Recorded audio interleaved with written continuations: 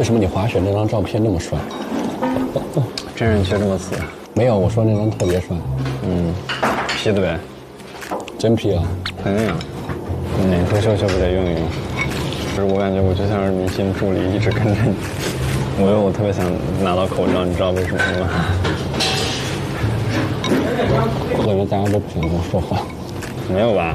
错觉吧？我觉得，我觉得应该不会啊。不是我说，就是那些问卷的人，明星比较有距离感，真的假的？真的，真的。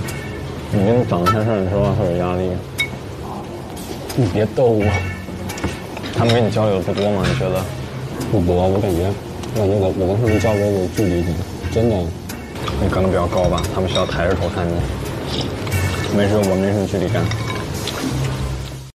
原来就是最早我是喜欢运动，嗯，喜欢跳舞，嗯，然后那个后来我又健身，练瑜伽，当教练。哇，您是瑜伽教练？对。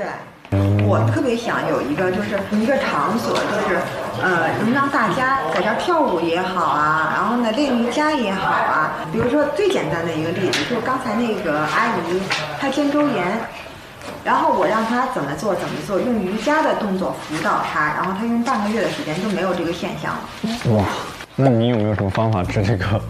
手腕儿是吧？对对对对对。手腕、膝盖还有腰受伤吧，它就会是那种不可逆的，但是能缓解。就是你在利用它发力的时候，你不要用手腕发力。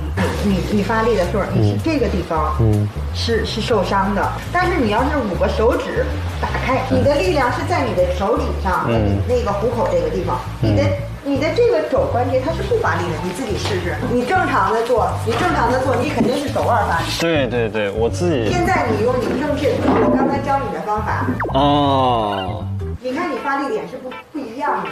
对，像我之前做俯卧撑，可能有时候会伤到手腕，包括自己长时间用鼠标，包括以前弹琴，对，其实手腕都是不是非常好。对。